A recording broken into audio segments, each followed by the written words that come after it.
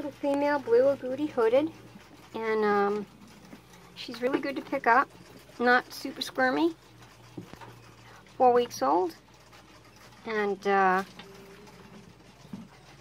maybe will give me a second here.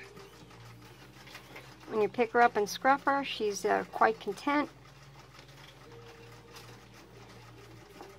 Held for five seconds. Um, you know, I scruff them. I uh, This is a sniff test. There's something on my hand that uh, smells good to them. She's nibbling but not biting. She's testing all my fingers. It's actually ranch dressing.